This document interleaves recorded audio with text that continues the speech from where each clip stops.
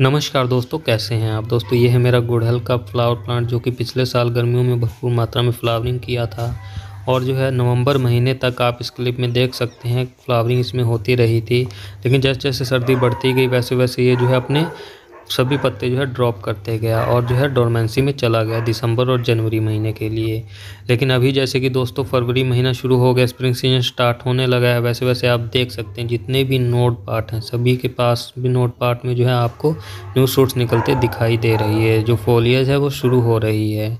तो दोस्तों, जब स्प्रिंग सीज़न शुरू होता है तो हमारे लगभग सभी पेरेनियल प्लांट्स जो रहते हैं समर में फ्लावरिंग करने वाले, सभी की जो है न्यू ग्रोथ शुरू हो जाती है। तो फरवरी महीने में या फिर मार्च महीने में, आप भी जो है अपने गुड़हल के प्लांट को रिपोर्ट कीजिए, सबसे इम्पोर्टेंट काम।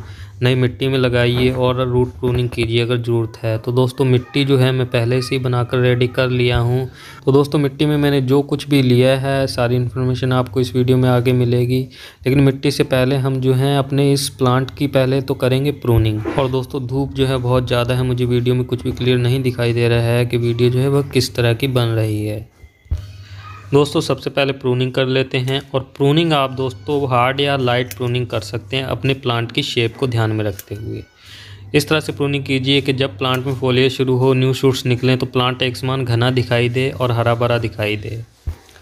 तो यहाँ दोस्तों, ऊपर की जो स्टैम्प्स थी, उनकी मैंने प्रूनिंग कर दी है। अभी जो नीचे स्टैम्प्स हैं, उनकी भी मैं प्रूनिंग जो हूँ, कर देता हूँ। वैसे तो ये जो आपको नीचे की दोस्तों, ये जो चार स्टैम्प दिखाई दे रहे हैं, ये मेरे को चारों ही जो हैं लगभग प्लांट के बिल्कुल मेन स्टेम के पास से काट कर हटा देनी चाहिए। लेकिन मैं सिर्फ़ जो हूँ, ये नीचे की दो ही स्टेम को पास से काट कर हटा देता हूँ। बाकी ऊपर की जो दो हैं, उनको मैं जो हूँ, उनकी जो है हल्की हल्की सी टिप को जो हूँ, मैं प्रून कर देता हूँ। तो दोस्तों स्प्रिंग सीज़न में, यानी कि फरवरी, मार्च महीने में, एक तो आप ये सबसे इम्पोर्टेंट काम कीजिए प्रूनिंग का। इससे जो है हमारा प्लांट काफ़ी जल्दी जो है, काफ़ी सारी न्यू शूट्स की हेल्प से बहुत जल्दी जो है हरा भरा घना हो जाएगा। तो अभी हम जो है जल्दी से दोस्तों अपने इस गुड़हल के प्लांट को पोर्ट में से बाहर निकालते हैं और देखते हैं क्या रूट प्रूनिंग की ज़रूरत है या नहीं है। बाकी आप दोस्तों लाइट प्रूनिंग जो है आप गर्मी भर कभी भी अपने गुड़हल के प्लांट में कर सकते हैं। ये दोस्तों मैंने जो है अगस्त महीने में गोबर की सड़ी हुई खाद की मल्चिंग कर दी थी और इसी के ऊपर मैं जो हूँ हल्की फुल्की गुड़ाई करते रहता था और जो हूँ थोड़ा थोड़ा पानी ऐड करते रहता था। इस खाद में जो है मैं मॉइस्चर कभी ख़त्म नहीं होने देता था। तो दोस्तों, आप देख सकते हैं, ये जो खाद मैं हटा रहा हूँ तो आपको गुड़हल प्लांट की जो है काफ़ी सारी जो है रेशेदार बारीक रूट्स दिखाई दे रही हैं। मैं पास से आपको दिखाता हूँ। तो अभी आप जो है देख सकते हैं कितनी सारी जो है बारीक रूट्स जो हैं दिखाई दे रही हैं, ये रेशेदार रूट्स इन्हीं की हेल्प से जो है न्यूट्रिएंट्स प्लांट इंटैक्ट करता है। प्लांट्स तक जो न्यूट्रिएंट्स हैं, भोजन जो है इन्हीं वाइट रूट की हेल्प से पहुँचता है। तो मैं यहाँ दोस्तों ज़्यादा समय नहीं लेता हूँ। यहाँ से मैं जो हूँ, वीडियो को फास्ट फॉरवर्ड कर देता हूँ ताकि जो है हमारा कीमती समय बचे इस वीडियो में।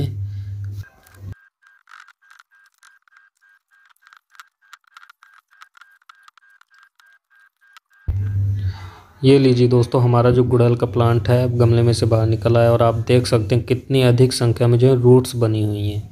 मतलब दोस्तों, पिछले 11-12 महीने में हमारे इस गुड़हल प्लांट की इतनी ज़्यादा रूट बनी हुई हैं। गमले में भी आप देख सकते हैं, काफ़ी सारी रूट जो हैं टूट कर रह गई हैं। तो दोस्तों, हम इस प्लांट को अगर रिपोर्ट इस फरवरी में नहीं करते हैं तो क्या होगा? हमारे प्लांट को जगह ही नहीं मिलेगी नई रूट ग्रोथ के लिए। और दोस्तों, जब तक न्यू रूट्स बनेंगे नहीं न्यू वाइट रूट्स नहीं बनेंगे, तब तक हमारे प्लांट की ग्रोथ और फ्लावरिंग अच्छी कभी नहीं होगी। तो इसीलिए दोस्तों, अगर हम गमले में कोई भी परमानेंट प्लांट लगाते हैं तो हमें जो है हर साल स्प्रिंग सीज़न में उसकी रूट प्रूनिंग ज़रूर करनी चाहिए। अगर रूट प्रूनिंग की ज़रूरत नहीं है, अगर थोड़ी संख्या में रूट बनी हुई हैं तो हमें जो है रूट प्रूनिंग करने की कोई ज़रूरत नहीं। जैसे कि अभी आप देख सकते हैं, मेरे इस गुड़हल के प्लांट में बहुत ज़्यादा जो है रूट्स बनी हुई हैं। तो अभी मैं अगर रूट प्रूनिंग किए बिना ही ऐसे ही लगा देता हूँ तो दोस्तों, बहुत जल्दी फिर से जो है मेरा ये प्लांट में इतनी ज़्यादा रूट बन जाएँगी कि पूरा गमला जो है रूट के साथ जड़ों से भर जाएगा। तो जब गमले में जगह नहीं बचेगी रूट्स को फैलने के लिए तो उस कंडीशन में मेरे प्लांट की ग्रोथ नहीं होगी। तो ग्रोथ कंटिन्यू होती रहे, इसलिए जो हमें रूट प्रूनिंग फरवरी, मार्च महीने में या फिर स्प्रिंग सीज़न में कर देना चाहिए। लेकिन दोस्तों रूट प्रूनिंग कभी भी आप जो है मई, जून, जुलाई की गर्मी में ना कीजिए। इससे जो है हमारे प्लांट के मरने के चांस रहेंगे, क्योंकि उस समय गर्मी बहुत ज़्यादा होती है। स्प्रिंग सीज़न बेस्ट रहता है रूट प्रूनिंग के लिए। बाकी प्लांट की जो प्रूनिंग रहती है, हल्की फुल्की लाइट प्रूनिंग आप गर्मी पर कभी भी कर सकते हैं।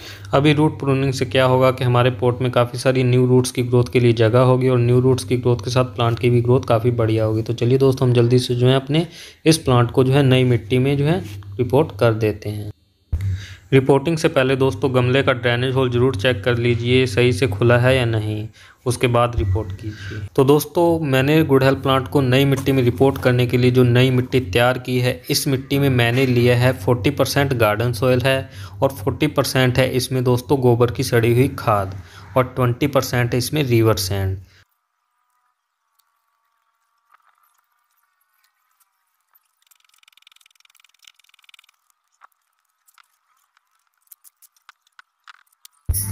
तो दोस्तों, इस तरह से आपने जो है प्लांट को रिपोर्ट कर देने के बाद भरपूर मात्रा में पानी देना है और जो है पोट को आपने पार्शियल सन में रखना है या फिर आप ग्रीन नेट के नीचे भी रख सकते हैं। लेकिन मैं यहाँ दोस्तों नॉर्मल पानी की जगह गोबर की सड़ी हुई खाद का लिक्विड फर्टिलाइज़र यूज़ कर रहा हूँ।